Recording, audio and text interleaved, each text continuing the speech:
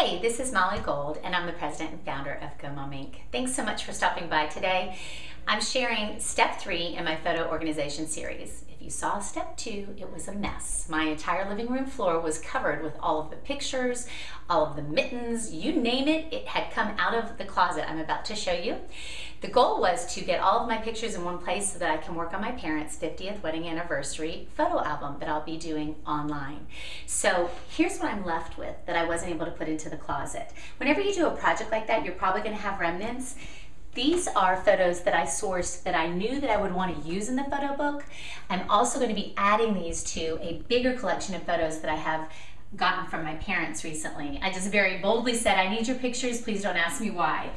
This is just a box of crumbs, miscellaneous, some random memorabilia, some birthday cards, some pictures from a class project, a Life magazine, all just things that need to find another home.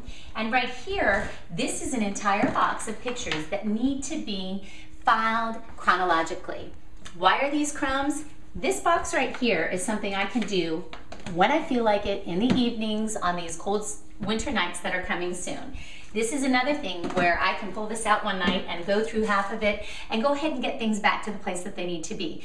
Whenever you do a project like this, it's a big undertaking. You want to anticipate that you may have a few little crumbs, a few little pieces that represent a bit of an ongoing process, but you don't have to do it right when you're doing everything else. If I would have spent the time to put all of these away, it would have gotten in front of what my goal was, which was to get to the bigger pile of everything that I wanted to work with for that photo book. So here's the big reveal on my big bad ugly closet. I know everybody loves seeing an actual chaotic closet in my house, but you had to know that wasn't gonna last for very long. My goal in finishing this closet was to repurpose with storage tools that I already had in the house from other projects. While it would be wonderful to outfit this closet with a professional closet organization system, that was not in our budget right now. You don't need budget to stand in the way of a project.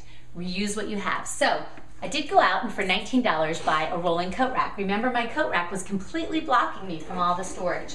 Now, I have no problem with that.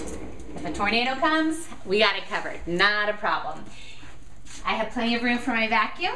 Kids can get that easily, no problem. And then step inside. What you'll see is that way up high is where I put all of the photos that are already organized chrono chronologically, and I likely won't get to it. This is 1995 through 2005. I really don't need much in there. If I do, I get my step stool, I pull down the box, and I'm good to go. Right in here, this is work. This is the work in progress. I've got some scrapbooking files. I didn't want to get rid of them. I really probably won't ever scrapbook in a major way, but my daughter loves to do things with photos, so why get rid of some supplies that are good?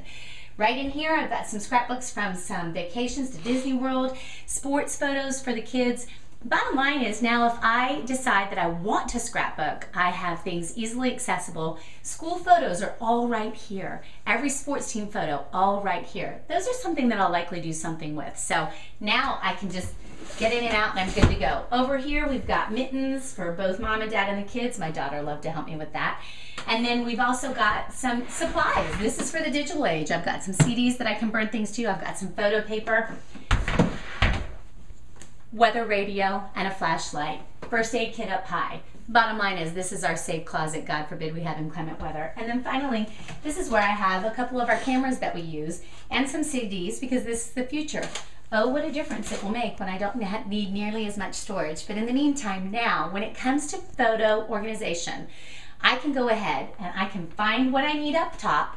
I can keep that process going I can sit down on a cold night and decide I'm going to go ahead and make a photo album and pull out a certain year and start slapping those bad boys in there and I'll be done. I know every time I get class pictures where I want to put them, every time I get a team photo where I want to put them. And you know, just by having it easily accessible, it encourages me to pursue that creative endeavor when I feel like it and when I have the time. That's what it's all about, making sure that you give yourself a chance before you even get out of the box. So hope you love my closet. I know I'm loving it. Come back soon for step four. That'll be how I decide and how I organize the photos we are actually going to load up for the book. I'll see you next time.